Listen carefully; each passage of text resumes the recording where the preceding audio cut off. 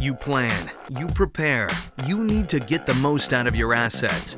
Running in sandy conditions accelerates the inevitable wear of your rod pumps and shortens their run life. When damaging solids threaten to slow your production, you need a pump that keeps producing for the long run. To extend production time between failures in sandy wells, Weatherford developed the sand tolerant pump, the only reciprocating rod pump, field proven to increase run life. Rather than fighting sand, the pump simply produces it while keeping the plunger barrel interface free from damaging solids with a unique wiper assembly and filter coupling. The sand tolerant pump increases the economic viability of sandy rod pumped wells. With it, you can extend pump life, which reduces the frequency of workovers along with the associated costs and production losses.